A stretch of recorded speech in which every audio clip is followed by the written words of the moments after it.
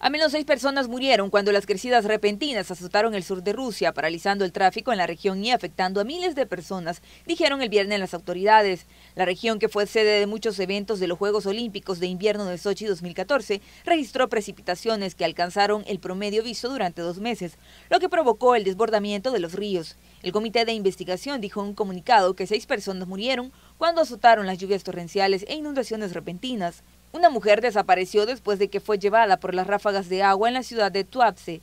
Las imágenes en la televisión estatal mostraron a personas que fueron evacuadas de aldeas en botes inflables y equipos de respuesta que repararon una sección de un puente derrumbado. Este es un informe de Kelly Abrego para la RNA.